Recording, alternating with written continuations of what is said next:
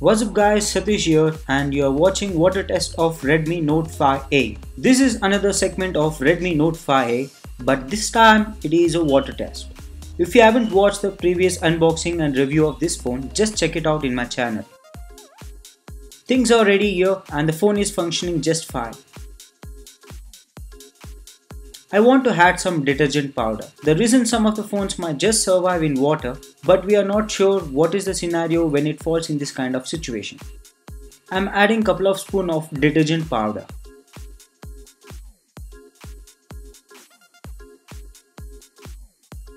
I'm gonna place the Redmi Note 5a exactly for 2 minutes in water.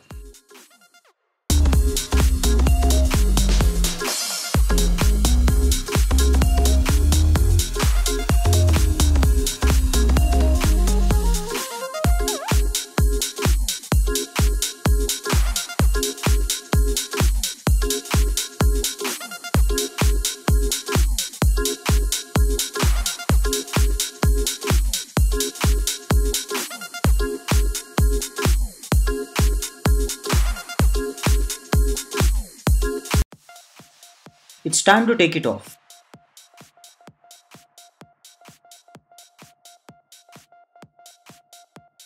I will clean it with a cloth and I've used some air dryer to eliminate any water stuck in the slots.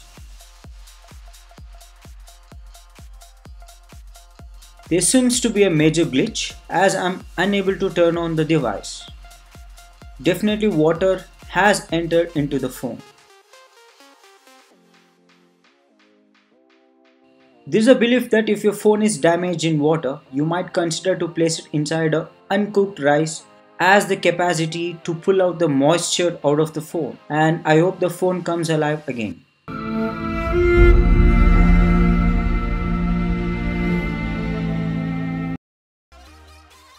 The rice procedure did not work at all. And I can see the water as enter the rear camera in front camera and front LED flash as well. This is definitely not a good sign.